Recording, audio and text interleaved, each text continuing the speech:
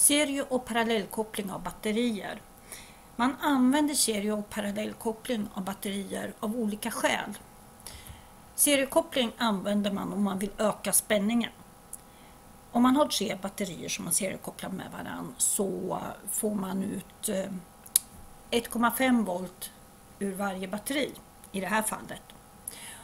Och, men tillsammans får man ut 4,5.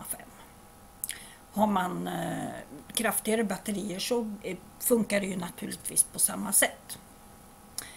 Och eh, det kan man ju då behöva till exempel om man har en lampa här och man, den kräver mer än 1,5 volt.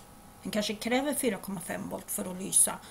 Och, men man har bara 1,5 volts batterier, då kan man göra på det där sättet. Eh, man parallellkopplar batterier av en annan anledning. Man får nämligen inte ut starkare spänning om man parallellkopplar batterier, men de räcker längre.